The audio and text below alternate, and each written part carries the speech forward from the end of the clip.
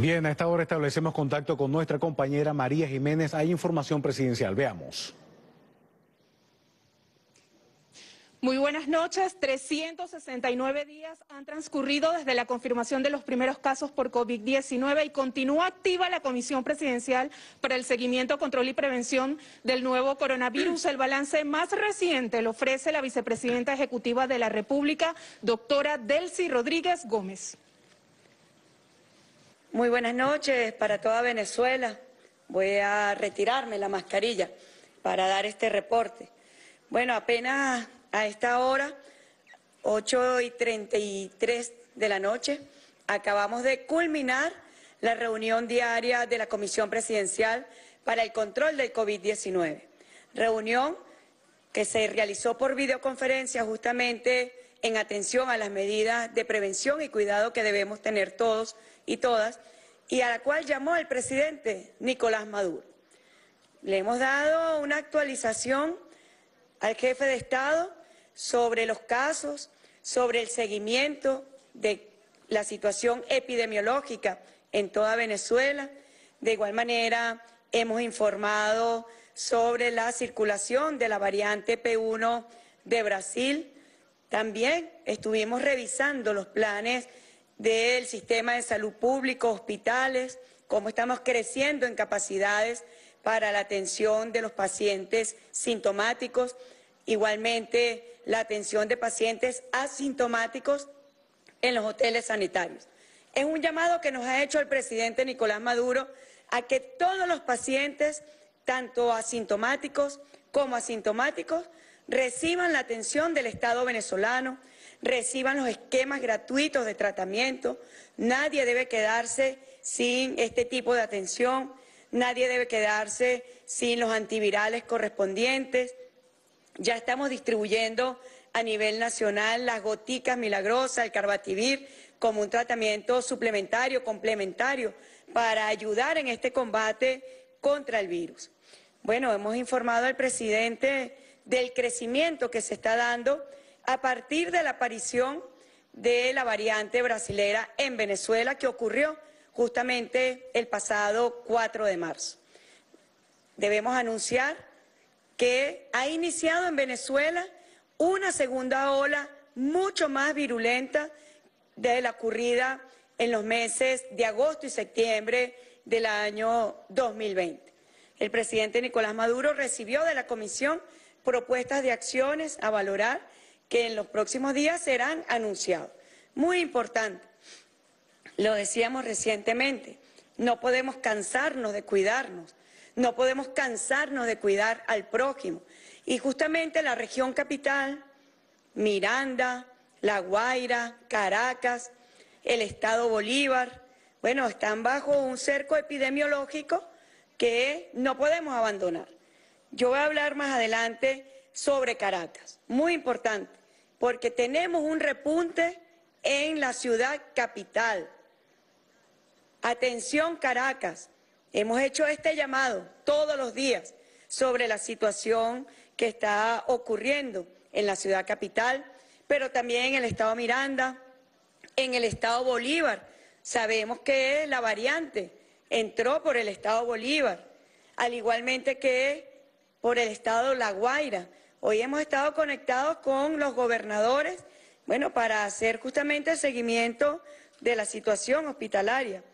Queremos informar también que hemos tenido reuniones de coordinación con el sistema de clínicas privadas del país, de la región capital, para aumentar en capacidad, que los pacientes tengan y sepan dónde ocurrir. Reiteramos el número del BEN 911, importante, llamar al BEN 911 para que le dé reporte al minuto de dónde pueden acudir, a qué centro de salud pueden acudir.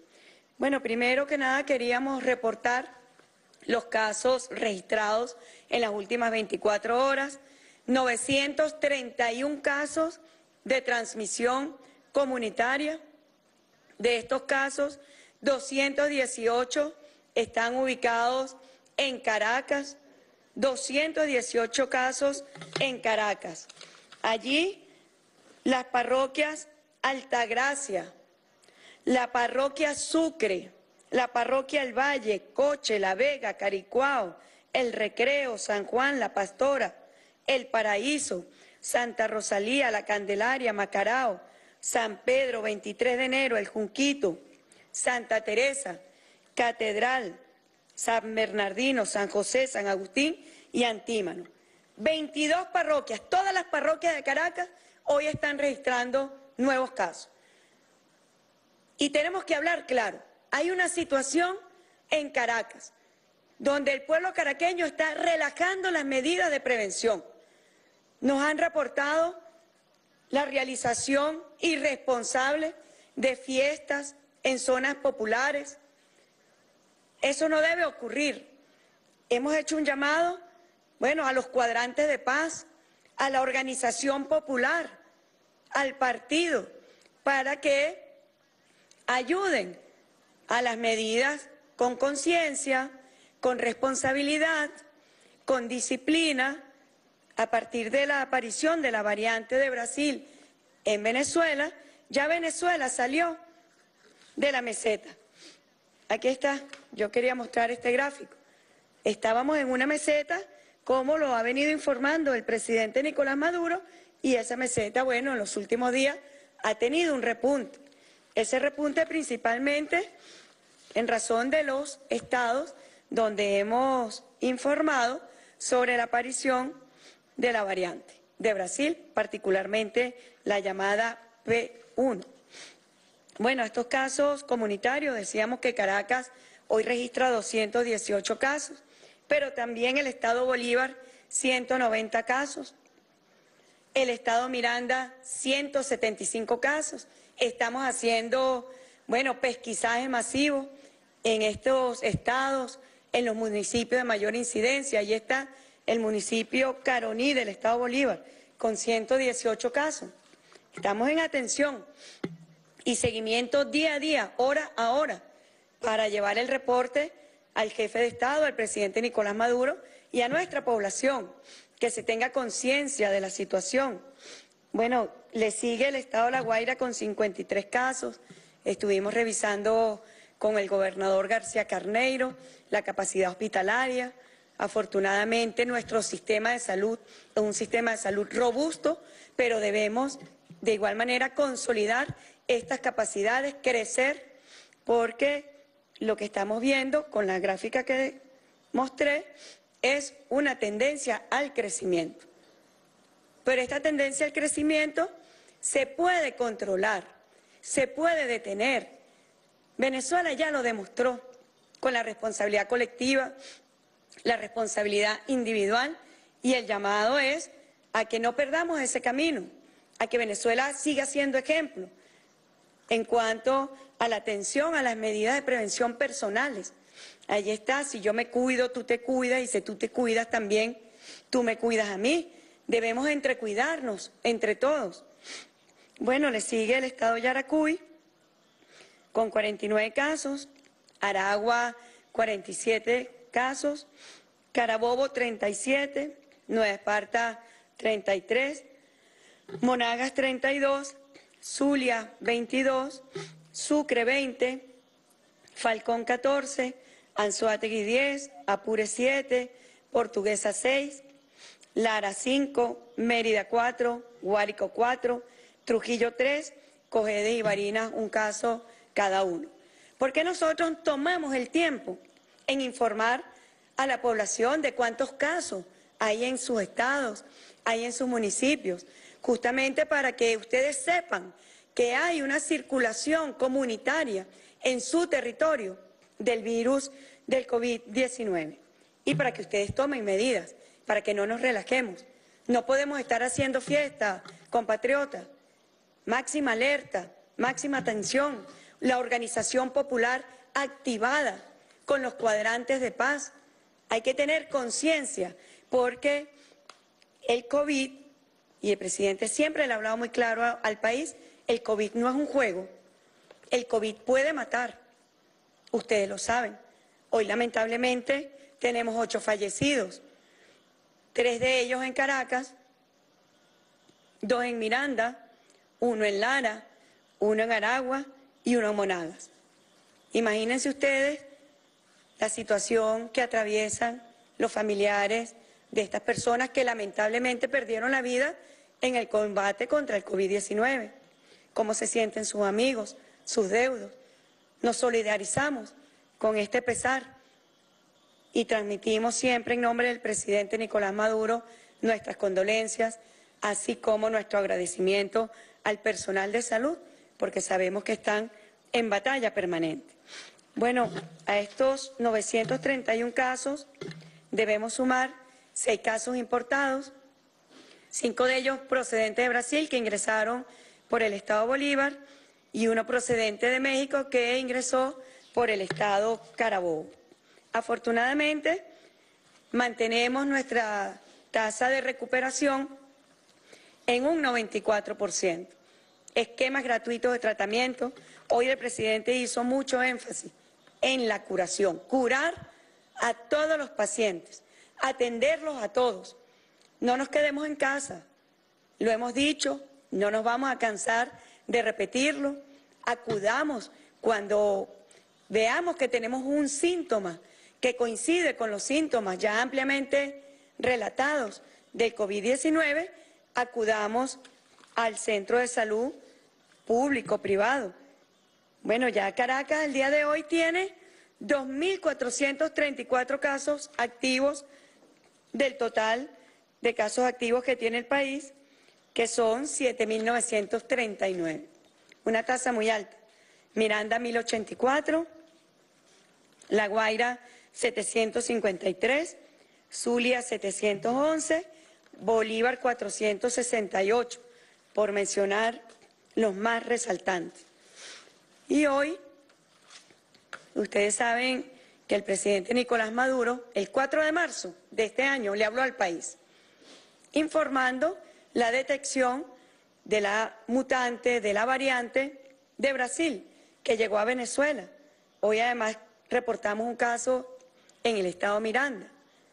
Bueno, yo quería nuevamente referirme a la hiperactividad contagiante de esta variante. Yo traje unas láminas, si ustedes lo ven allí, casos por millón de habitantes. Desde que Brasil, el 9 de febrero del 2021, reportó a la comunidad internacional la existencia de esta variante, los casos se multiplicaron en un 70%. Por eso es que esta segunda ola que inicia en Venezuela es mucho más contagiosa, es mucho más virulenta que la primera ola que vivimos en agosto y septiembre del año 2020. 70% de aumento en la tasa de contagio de los casos en Brasil. Pero si nos vamos a los casos por millón de habitantes, fallecidos por millón de habitantes, se multiplican un 60%. Esta variante es el COVID-19, es una variante del COVID-19, se contagia con mayor rapidez y se, al contagiarse con mayor rapidez también hemos visto, los científicos, la comunidad científica ha determinado que los síntomas agravan. Y esta tasa hipercontagiante de la variante, bueno, sin duda alguna tiene una incidencia, tiene un impacto en la tasa de fallecidos por millón de habitantes, como lo estamos viendo en Brasil, que aumenta en un 60%. Hoy nuevamente el presidente de Brasil, el señor Jair Bolsonaro, sorprende al mundo entero por su irresponsabilidad el presidente Bolsonaro le pide hoy al Tribunal Supremo de Brasil que anule las medidas de los gobernadores contra la pandemia. Sigue en su locura de creer que es una simple gripe, que no daña, que no mata. Una irresponsabilidad no solamente con el hermano pueblo de Brasil, que ha pasado por una penuria terrible con esta pandemia sino con los países vecinos de la región, con Sudamérica, con América, con el mundo. Es una terrible irresponsabilidad de este señor al pretender eliminar medidas políticas para controlar la pandemia por COVID-19 en Brasil, sabiendo que Brasil, hoy dicen, alertan sobre el peor escenario de la pandemia en Brasil. Está en Telesur. Europa Press. Brasil vuelve a superar el récord de casos diarios de COVID-19 detectados con casi 87 mil nuevos casos. Ustedes saben que Brasil además está ubicado en el segundo lugar a nivel mundial, epicentro también de la pandemia en Sudamérica. Ya Brasil, bueno, se encamina a los 12 millones de casos y lamentablemente se encamina a los 300 mil fallecidos. El segundo país con mayor número de casos por millón de habitantes, ahí lo vemos en la gráfica también, miren cómo crece la curva. El segundo país de fallecidos, ahí también vemos la curva.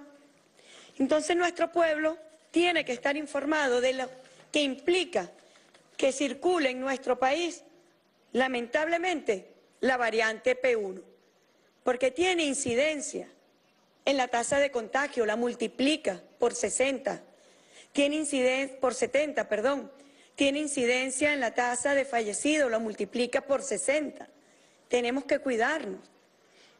No puede existir un cerco epidemiológico, todo el Estado, las autoridades y los ciudadanos haciendo fiesta. No es un motivo de fiesta, es un motivo para ocuparnos debidamente. Ya conocemos las medidas de prevención, el uso de la mascarilla, el distanciamiento físico, el lavado frecuente de las manos, el uso del alcohol. No es motivo de fiesta. El COVID no es motivo de fiesta. Es motivo de cuidar la vida, de cuidar la salud, de que todos nos ocupemos como un país en unión nacional, que nos ocupemos de cuidarnos, de cuidarnos nosotros para poder cuidar a los otros. Bueno, hoy teníamos la buena noticia, el día de ayer recibimos, gracias a Conviasa, en el plan Vuelta a la Patria, recibimos a 96 compatriotas de Ecuador, no sé si tendrán allí las imágenes, y hoy recibimos además 202 compatriotas que llegaron de Chile, plan único en el mundo. Somos el único país, además de ser un país terriblemente agredido por un bloqueo criminal, somos el único país que estamos buscando a nuestros connacionales, a nuestros compatriotas, a pesar del odio, de la xenofobia. Bueno, aquí estamos, volviendo a casa a nuestros hermanos, a nuestras hermanas, dándoles atención, dándoles atención en, medio de esta terrible pandemia, cuando vemos que en Colombia lo que hay es xenofobia contra los venezolanos, inoculado además por sus propias autoridades, por el presidente Duque, por la vicepresidenta, por la alcaldesa de Bogotá, que se expresan de la peor manera de nuestros hermanos, por el odio que hay contra los venezolanos en Perú, en Chile. Bueno, aquí está el plan Vuelta a la Patria, un hermoso programa creado por el presidente Nicolás Maduro para tender la mano amiga, solidaria a nuestros hermanos y a nuestras hermanas. Queríamos reportar, esta es la situación al día de hoy, 19 de marzo de 2021, sobre la situación epidemiológica en Venezuela. Estamos a tiempo, no nos cansemos, nunca, jamás.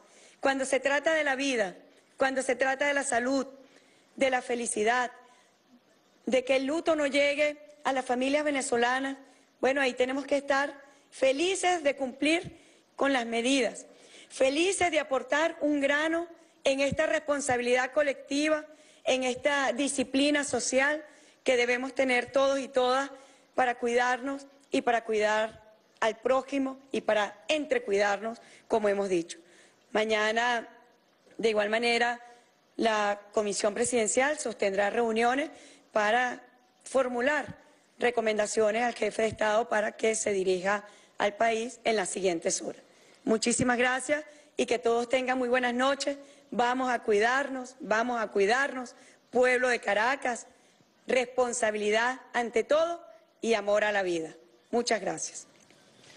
Bien, ha sido el reporte diario de la Comisión Presidencial para el Seguimiento, Control y Prevención del COVID-19, un llamado y una alerta que realizaba la vicepresidenta ejecutiva de la República, doctora Delcy Rodríguez, frente a lo que ha denominado una segunda ola de contagios por el COVID-19, frente a la aparición de la variante brasileña P1 que ha reportado el Ejecutivo Nacional y que se han tomado medidas extraordinarias para proteger a la población venezolana para evitar la propagación del virus. Ha dicho la importancia de la Organización Popular de activar los cuadrantes de paz, de hacer uso de la línea telefónica B911 frente a este 2021 que ha iniciado con esta amenaza de variantes no solo en América Latina, sino a escala global. Los científicos muestran preocupación y este es el llamado y la alerta de las autoridades gubernamentales, sanitarias y, epidemiológicas por la facilidad del contagio de esta nueva variante del COVID-19. Un cerco epidemiológico en la región capital que incluye Caracas, La Guaira, el estado Miranda, el estado Bolívar. Igualmente se ha establecido un laboratorio móvil de pruebas PCR y un hospital de campaña con unidades de cuidados intensivos en el estado Bolívar, que es la zona fronteriza con la República Federativa de Brasil y donde se ha registrado igualmente un gran incremento de casos con esta nueva variante brasileña. Es parte de este balance que ha realizado la Comisión Presidencial ha dicho que más que generar alarmas es prevenir, redoblar las medidas de prevención y cuidado, mantener el distanciamiento físico, el lavado de manos, de higiene y si usted presenta algún síntoma, han dicho que lo mejor es acudir al centro de salud más cercano o al centro Centinela para su debida atención. Con estos detalles, desde la sala de prensa Simón Bolívar en el Palacio de Miraflores, retornamos el contacto.